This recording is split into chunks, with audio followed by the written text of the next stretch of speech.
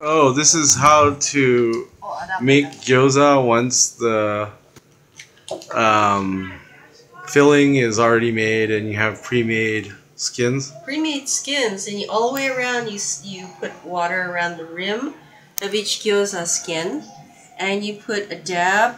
I put it right in the middle. Uh, the No, the- it goes on and the side. You're so funny.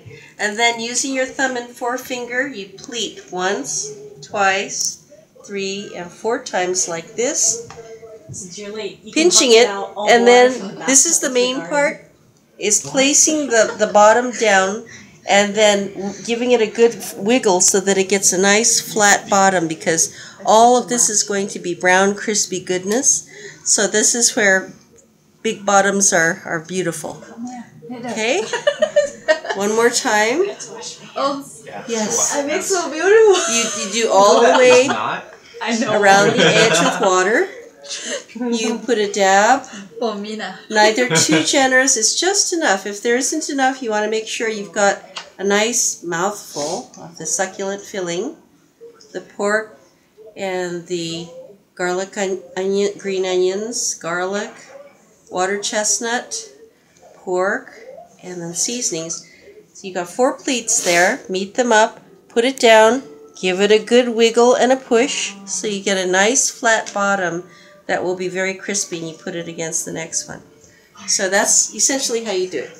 Okay.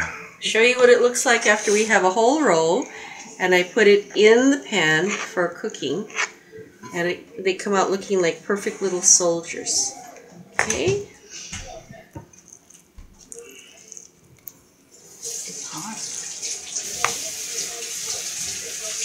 So this is the general, and these are the soldiers. The privates.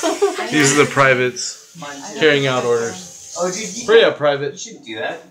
Your hands are all jacked. Oh yeah. Don't don't don't don't. Hurry up, I wear private. gloves. No no no no no. It's it harder to do it without gloves and feeling. Just enjoy it. what happened? Her hands are all. I'm Uh, breaking out. yeah. Oh, honey, no, because there's like stuff that would that'll make you really break out if it gets on your on your. Uh, There's like ginger and garlic. Here, just chill Oh, out here.